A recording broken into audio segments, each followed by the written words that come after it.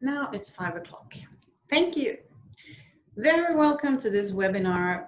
Me, I'm Annalie. I'm from Look Good, Feel Better. You can see me here. And together with me today, I have. I'm Judy with Look Good, Feel Better. So we are volunteering for the course, and we are a worldwide organization that are in 26 different countries. And so if you want to find out if it's in your country, do go online and look for Look Good Feel Better in whatever country you would like to see it in. Because we are in 26 different ones, so it should be okay. And today we are going to talk about makeup and we're going to talk about the 12 step program, if you see it here. That's the same all over the world as well but this was in Swedish, so we won't put it online or in the uh, app because we don't think it's that many of you that know Swedish that well. So you can find it online. And we are going to talk about skincare in the beginning, and that means cleanser and moisturizing and dark circle under your eyes and if you just let me interrupt for one second, uh, we would like you, even though you can't participate with us verbally, we would love you to send us questions.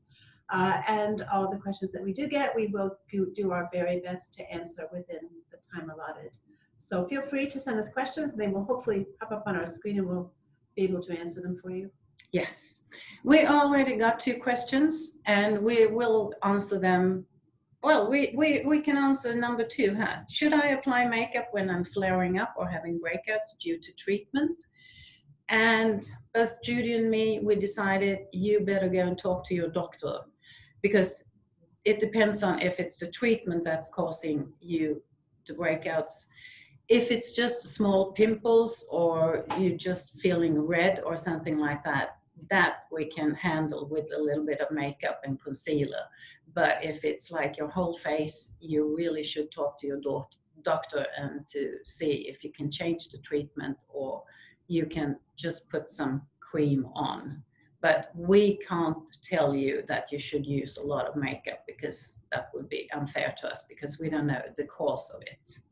Exactly. So, to get back to the 12 step program, it starts with cleansing because if you want to do a nice makeup, you need to do a good clean base. And you start to remove your eye makeup. And also, you see behind me here on the shelf, that's a little bit of the products that you get if you attend one of these classes.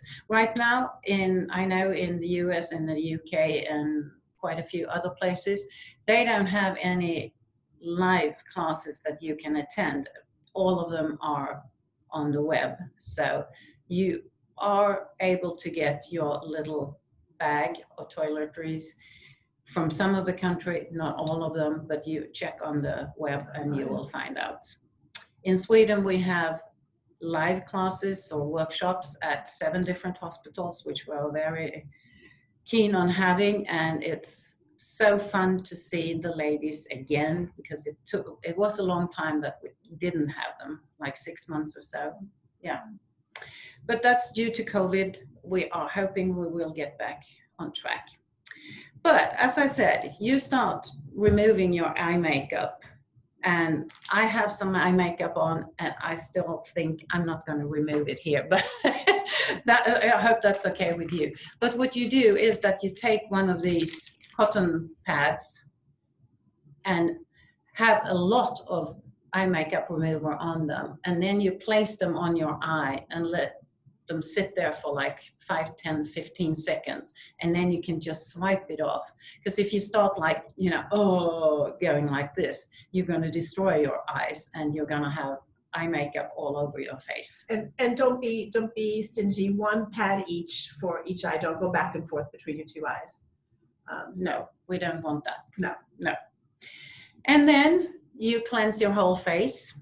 And that's also like, you know, give yourself a good massage. Mm. It's something that's going to stay on your skin. So it's not like something you're rubbing into your skin, it's on top of your skin. And then you take a Kleenex and wipe it off, and you, or you rinse it off with water, whatever you feel like. You can have, there are hundreds of different Cleansers. cleansers. Yeah. So if it's a milky one or you have the micellar water or whatever, Often we get a question, how about soap? Probably not a good idea when you're going through treatment. It has a tendency to be a bit harsh. And while you are going through treatment, you want to choose products that are very gentle, very neutral, so that you're not causing any kind of abrasions or dryness by the treatment that you're, you're, you're doing to yourself. So try a cleanser, a lotion, or a cream. yes. Mhm. And be using peeling quite sparingly as well. Right. because peeling can be really harsh. If you want to do it, just take one of those, what do you call them, forte Uh, washcloths. washcloth, and then you know have a hot water on it, and then wipe it across your face, and that would be removing the excess skin that you might feel too. Exfoliating. Yes. Then we come to the next step, which is moisturizing. Uh, we know from experience that going to cancer treatment, it's a very common thing to have very, very dry skin. So the answer to dry skin is not to have a very heavy cream. It's more like having a hydrating cream and you can use a lot of it because you can put it in your on your whole face and then if you have dry spots you can take some extra and just gently tap it onto your little spot where you think it's really dry and just let it sit there and then you can see it absorb We haven't said this, but um, all of these steps that we're talking about when it comes to skincare should happen both in the morning and in the evening, except for eye makeup except, remover. except for eye makeup remover. Um, however, with the moisturizing, you can use a moisturizer on your skin as often as you think you need it during the day. So if you if you put it on in the morning, and you're feeling great, wonderful, and then maybe around lunchtime you're feeling a bit dry again, use it again, reapply. Uh, there is there's nothing but uh, benefits from using a good moisturizer, a good non-clogging moisturizer. And also, I mean, all the face mists that we have now, Right. like the sprays, you can have them in your purse. And whenever you feel, you know, you close your eyes and then you just spray it on. Especially if you're working from home, sitting in front of the, the computer the whole day, feel free to, you know, spray as much as you like. And also, we just talked about having very, very dry lips. That's also one of the side effects of treatment and getting sores in your sides here use cream on your lips as well. um, yeah, a good surat uh, uh, that you can reapply time and again, so that you just you just want to avoid really drying out your skin anymore that the treatment's already going to cause. One thing I was thinking of when you mentioned the spritzer, though, I know uh, a lot of women that I've met who um, may have lost their hair and they're using wigs. Um, some of you looking at us today, you might be from a hot climate, which we're not in Sweden right now, but uh, having these misters and using them on your scalp as well is apparently really really lovely thing to do and gives a lot of relief from from if you've had a wig on and it's it gets, gets a bit itchy and a bit warm. So that spritzer you can use just about everywhere. Keep it in the refrigerator cooling. Yeah. And mm-hmm. also, if you have a very dry scalp, you can use the moisturizer on your scalp as mm-hmm. well. It's so easy just, you know, continue all the way back. I think one thing we didn't say when we said moisturizer though is very important to have a sun protection factor in your moisturizer Yes. Or if there's not a sun protector in or SPF in your cream, use a sun protector on top of your cream. And, And it that- should be 30 or 50 all year round. all year round even in the dark years or dark months that we have now in the north Yes. um, it's really important to not forget a SPF factor for your face Okay. Then we come to the fun part, putting some color on our face. And we have a question, which is so We have two. nice. Oh, we have two? Oh, Oh. wow, lovely. Ah, uh, all of Look Good Feel Better. We are, us in Sweden, we can't propose just one brand or two brands. Look for sensitive, for sensitive skin, and look for the price range depends on how much you want to spend. And I would say even the cheaper ones are very good. So no matter what you There's so much information online on different blogs. Um, uh, if it weren't a Corona time, I would say your best bet is to go to a perfumery where you could talk to a couple, couple of different people um, and try a couple of different products. But as Emily says, there's there's loads to choose from. Um, trial sizes yeah. you can buy or like travel kits and then you can find your perfect match because it all depends on how much money you want to spend because here in sweden you can get cleansers for like compared to us dollars for like 55 dollars mm, but you can also spend like 50 dollars on the same on a similar cleanser uh, for the same function. Yeah. same function Yeah. so Um, I would say I, I'm, we, we can't do that. Oops, how do I I think you just put it on here? Yes, okay. So now we put on some color and then it's about foundation. And do you know, oh, okay, go away. yeah. Keep going. yes. So foundation, how do you try on your perfect color? Most people say you use your hand and you try it on your hand, but it's not very often you're using foundation on your hand. Do you use a lot of foundation on I your hand? tend not to. No, No. not to. So, where do we want to use the foundation? We want to use the foundation on our skin. So, ask the lady at the perfumery or in the, your department store or anything for trial. Put three lines along your cheek line, like down here. Three ones, and then you ask for a mirror and you go out in the daylight, and the one you can't see, that's your right foundation. Because sometimes your cheeks are a little bit darker than your uh, neck, but it will just go very smoothly across here. So it's foundation you never put under your uh, chin. no. You just gently tap it around so that you even out the whole thing around your jawline here. So that's the thing. Try it on where you're gonna actually wear the foundation. This is a good time for the second question we got. Yes. The second question that we've gotten is about dark circles under your eyes. And I know a lot of people struggle with actually covering up the dark circles. And I think one of the reasons that happens is because we often think about just covering, but we need to really think about covering and brightening. Uh, and when you can do those two things together is when you'll find that you get the best result. So um, after your moisturizer, before your foundation, you should have a corrector. Uh, the corrector should be in a uh, rosy pink tone, not in a yellow or caramely tone. Um, and you dab that on with either a brush or your finger um, under your eye.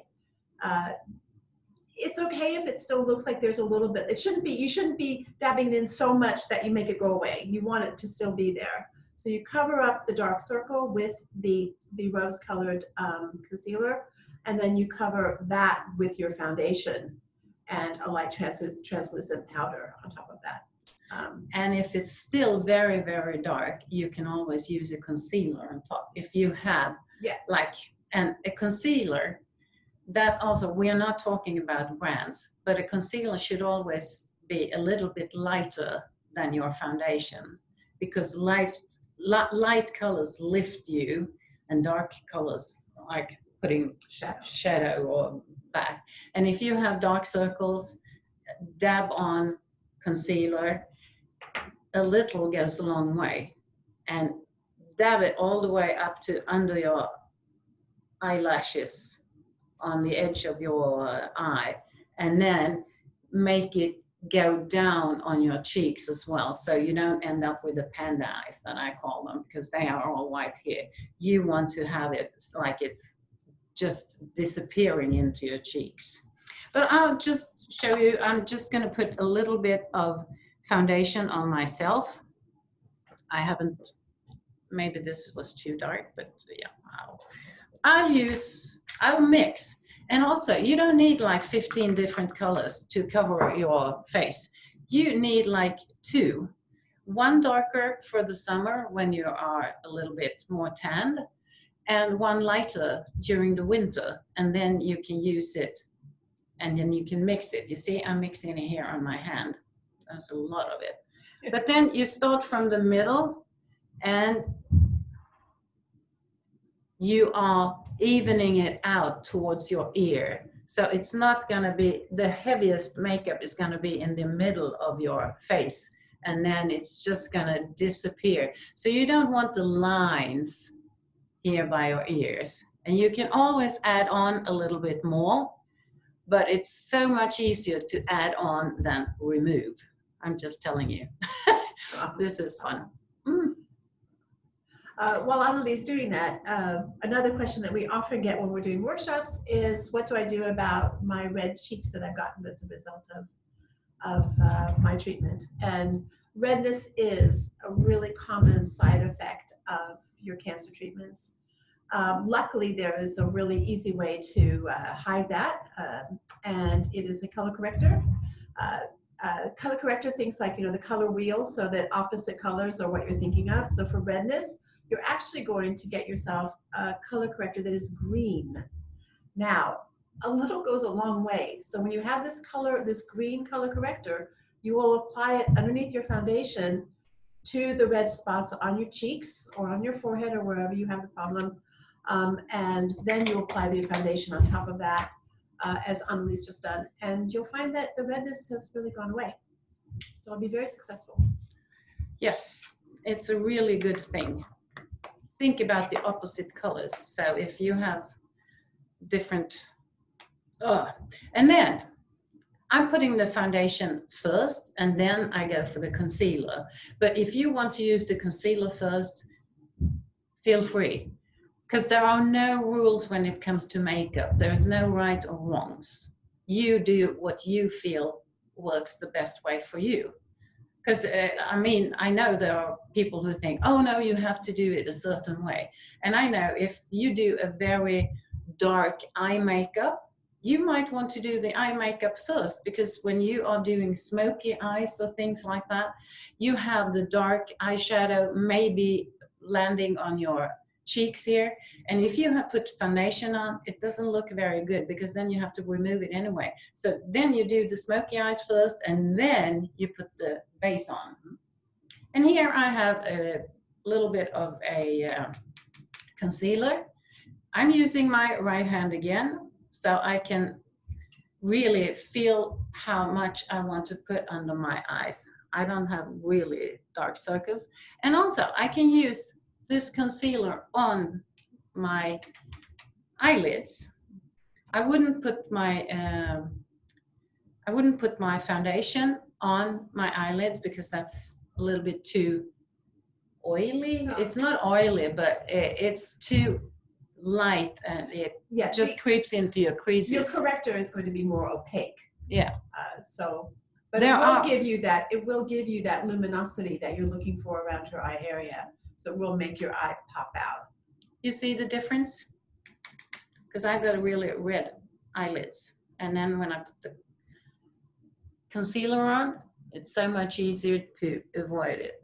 And also, sometimes you have really dark edges here to your nose, and then you can put the concealer close to your nose as well. It will open up your eyes a little bit. There you go. Hmm a whole new person. A whole new me. So those are the tricks. And as I said before, there are no rules or regulations when it comes to makeup. Do whatever you feel like. And also, I think be um, don't be afraid to experiment because you know your your skin. Even if you've been using makeup regularly your entire life, all of a sudden the game, the rules have changed. The game's changed. So you need to be able to to experiment and to play around to find find out what works for you in the situation you're in right now. Yeah. And then we want to get rid of the too shiny forehead and the nose and maybe the chin. So you just dab on some powder. Translucent loose, translucent loose powder tends to be best. Yes. But you can also use pressed powder.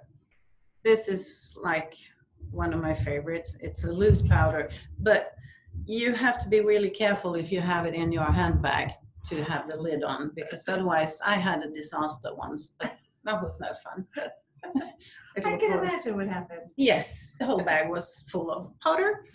And also, if you're gonna use a blusher, and if you're gonna have a powdery blusher, you need to put some powder on your cheeks as well. Just very little, because powder goes on powder and cream goes on cream. So if you have a cream blusher, you don't need any powder on your cheeks.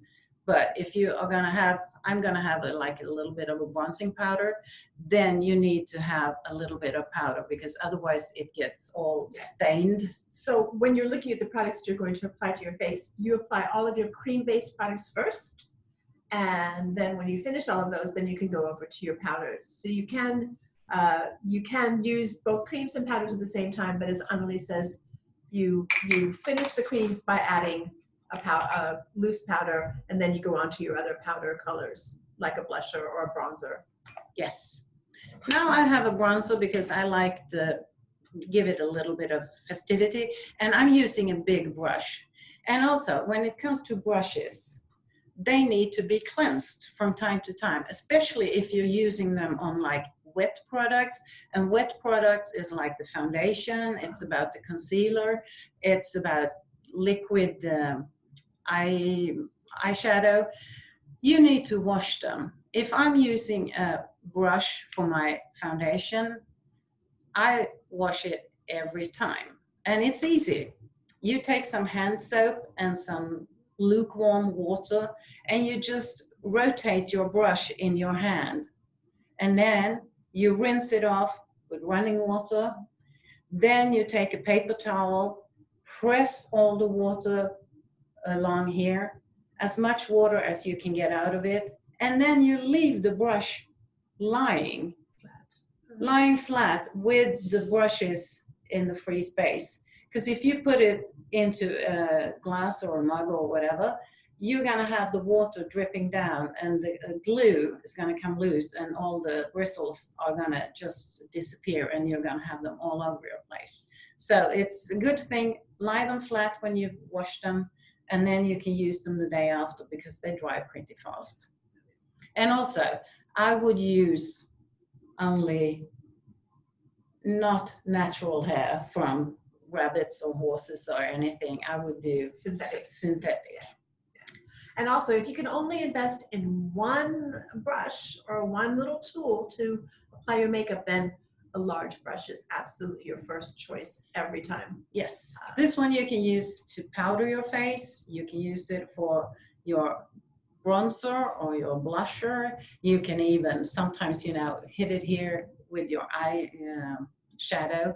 But a big one is goes a long way. And now I'm just, you know, for having the blusher on your cheek, think about two fingers from your nose and then smile. Yes, Mm, and you see the apple of your face, apple of your cheeks, and that's where you start. And it doesn't mean to you have to have a lot.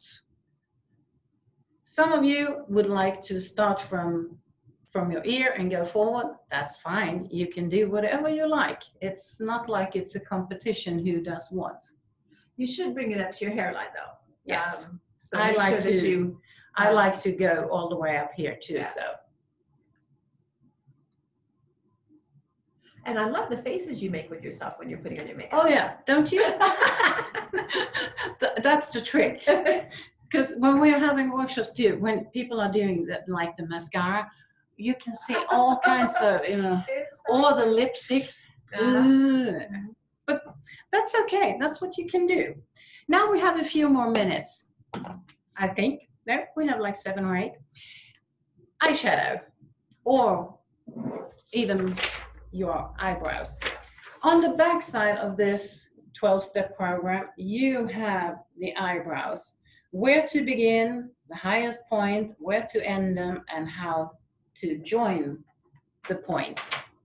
So, you can you can follow that absolutely that's like the perfect brow but you can also i think one tip you can have if you haven't lost your eyebrows yet but you're afraid that you might lose your eyebrows then go ahead and take a picture make sure you have a picture of the way you look now um, probably your eyebrows your natural eyebrows are not perfect uh, and probably they don't match left right to left to right Um, they tend to be sisters, not twins. Exactly. Not identical twins. Yeah. So uh, if you have a picture, a good picture of your eyebrows, you'll be able to recreate them and get the look that you have yourself. Um, but yes, eyebrows and uh, and some sort of mascara situation is very important for people gloss. also for for your eyebrows, if you start, I mean, you can put a pencil, a nose, inside of your eye, and up to you feel your bone here. That's where they're gonna start. And then you look straight into your mirror and you just move the pencil or whatever you have. And then outside of your iris, I mean the colored part of your eye, there is the highest point. You can feel actually the bone. So what you would do if, if you're doing that, you would then make a, a, a dot with your pencil there and one in the middle and one at the end where it will end. So And- that you have a three points that you're then going to connect with. small, small strokes. I think I have one eyebrow pencil here. Yes, I do, here. And it's small. I mean, you do it like this Feather-like. because you don't want to draw a line because if it doesn't, it doesn't look nice. But if you can just sit here and you can work and you, now I have my eyebrows, but you can make them bigger, you can make them darker. And then you always, almost always have a little brush on the end of the eyebrow pencil. And then that's what you do here. You just brush them.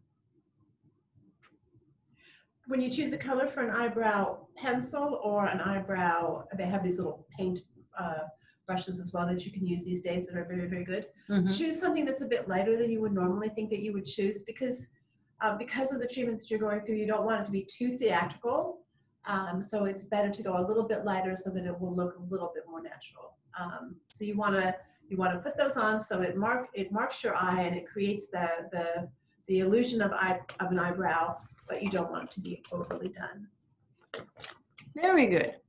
Then, if you lose your eyelashes as well, you do want to have some kind of, uh, what do we call it? definition Definition, yes. And use a pencil that is kind of soft.